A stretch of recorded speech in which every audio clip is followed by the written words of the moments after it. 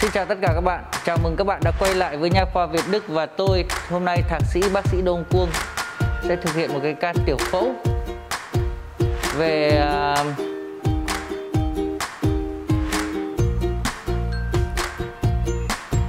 về về tiểu phẫu uh, nha chu, tiểu phẫu lợi cho một khách hàng. Anh bị uh, viêm nha chu mãn tính kéo dài đã có hiện tượng uh, tiêu xương và ekip của chúng tôi vẫn như mọi khi. Thế thì à, hôm nay tôi có giải đáp mấy cái thắc mắc của khách hàng thường hỏi cho chúng tôi. Đó là những cái tiểu phẫu, ví dụ như nhổ răng hoặc là tiểu phẫu lợi hay là những cái tiểu phẫu khác. Thì tại sao lại cứ nên hẹn vào buổi sáng? Bởi vì nó có mấy vấn đề? Một là buổi sáng là cái thời điểm mà có sức khỏe toàn thân tốt nhất. Sau một giấc ngủ dài thì chúng ta sẽ lấy lại được toàn bộ những cái năng lượng và bỏng. Nó nó sẽ không còn những cái mệt mỏi của một cái quá trình làm việc của ngày hôm trước. Nếu chúng ta chọn buổi chiều thì thì thì à, nó sẽ không được bằng vậy là cái tình trạng sức khỏe toàn thân của của của mỗi người thì đầu buổi sáng vẫn là tốt nhất. Cái thứ hai nữa là tại sao phải phải lựa chọn buổi sáng là bởi vì trong cái quá trình ờ, làm bất kỳ một cái tiểu phẫu nào thì sau đó tất cả sẽ được cầm máu ở mức độ bình thường và thông thường thì không có sự chảy máu kéo dài. Tuy nhiên, một cái trường hợp đặc biệt nào đó, trong quá trình nhổ răng hay là trong quá trình nào đó, thì có thể xảy ra cái tình trạng chảy máu bất thường. Thế thì chúng ta, khi mà chúng ta nhổ, hay là chúng ta làm cái tiểu phẫu gì đó vào buổi sáng thì chúng ta có thể theo dõi được toàn bộ cả cái quá trình đó trong một ngày. Và như thế thì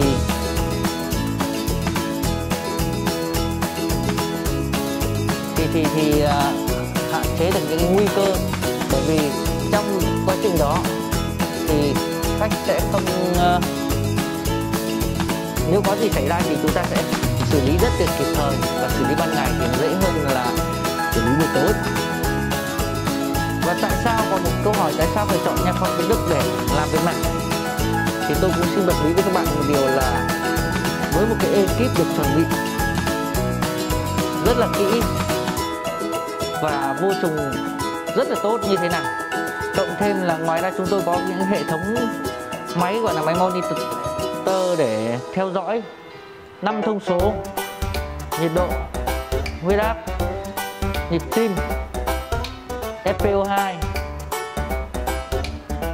thì uh, thì thì đã đem lại cái sự an toàn cho khách hàng, có thể theo dõi trong suốt cái quá trình mà thực hiện tiểu phẫu, cũng như là là là là sau đó.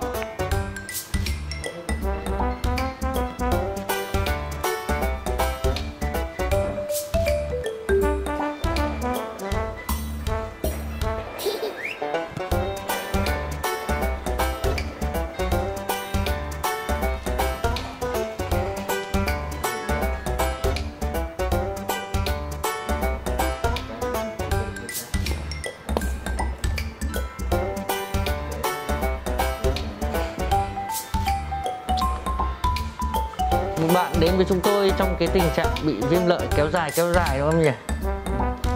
Và cái quan trọng nhất là chúng tôi đã hướng dẫn cho bạn ấy khoảng chừng 10 ngày để đánh trải răng đúng.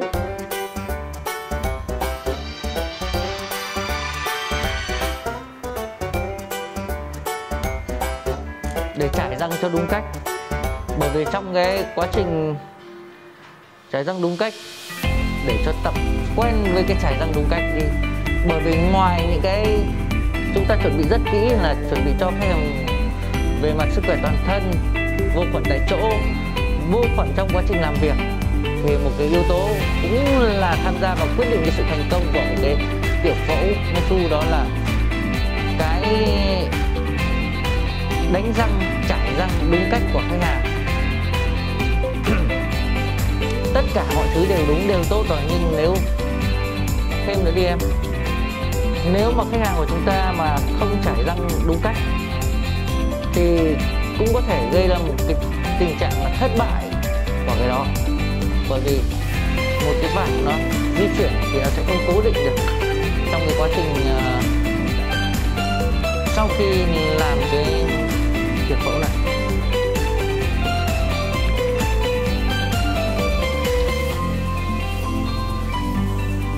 bôi betadine ha ha ha ha. Sát quần toàn bộ trong miệng.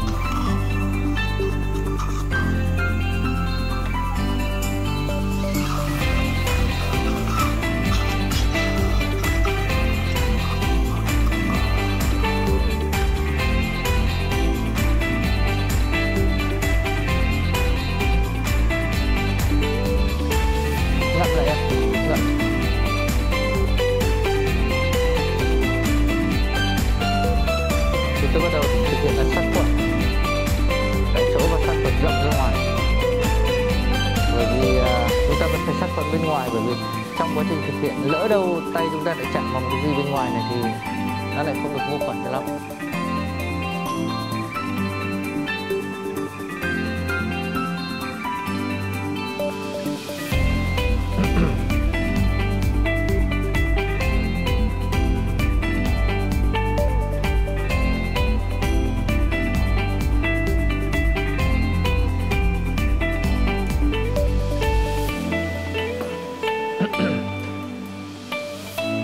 Bây giờ anh sẽ tiêm tê cho em nhá. Nó hơi nhói một tí. Có thể tháo cái kia ra.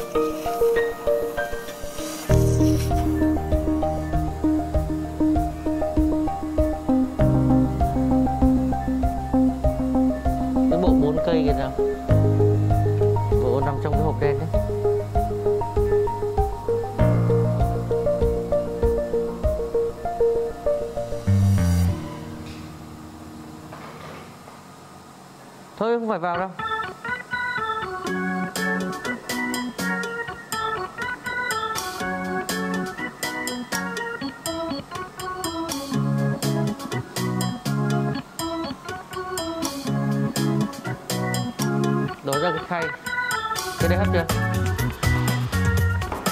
đổ ra cái khay ấy.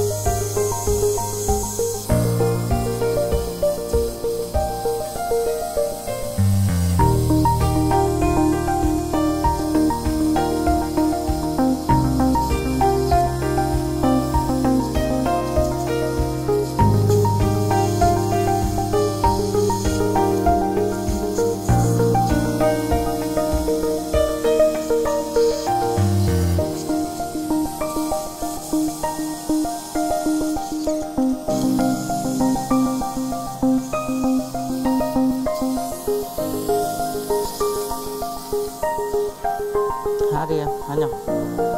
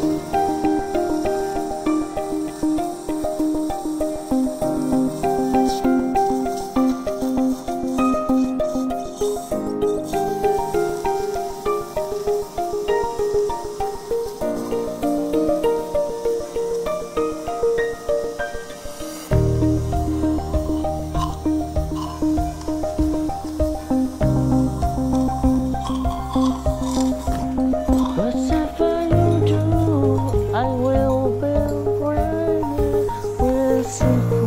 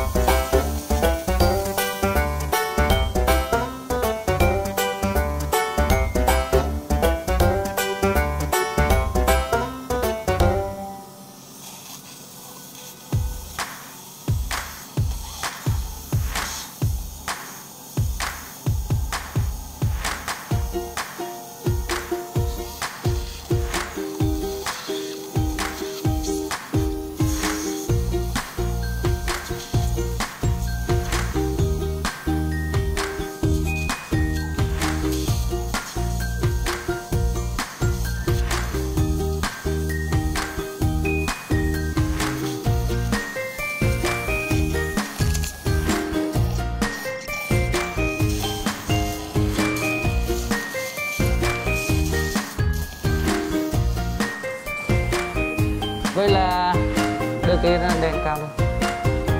Vậy là toàn bộ cái quá trình uh, tiểu phẫu cắt nướu cũng như là tiểu phẫu trong một cái ca bị viêm nha chu của chúng tôi đã thực hiện xong xuôi và thành công. Bây giờ chỉ là cái giai đoạn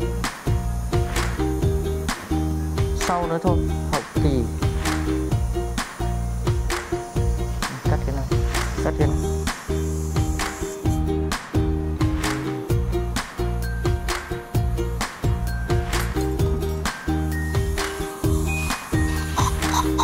Thì à, như bình thường thì cây này khoảng sau à, 5 đến à, khoảng 7 đến 10 ngày thì bạn ấy sẽ được cắt chỉ và bạn sẽ tái khám. Xung quanh bạn hoặc là bản thân các bạn đang có cái hiện tượng mà ngứa viêm đỏ có thể là do răng tự nhiên có thể là răng tự nhiên, có thể là răng đã điều trị thì hãy cẩn thận rằng đó cũng là một cái viêm lợi thông thường nhưng nếu nặng nề hơn thì có thể đó sẽ là một cái uh, viêm nha chu. Thì bạn hãy nên, nên đến ngay bác sĩ chuyên khoa để bác sĩ chuyên khoa khám và chẩn đoán cho bạn. Để bạn không bị những cái tình trạng viêm gây ra hôi miệng hoặc là viêm gây ra một cái tình trạng tiêu xương ở xương ổ răng. Và sẽ giữ được răng khỏe chắc lâu hơn bởi vì viêm nha chu là một cái căn bệnh chủ yếu gây mất răng và gây mất răng hàng loạt.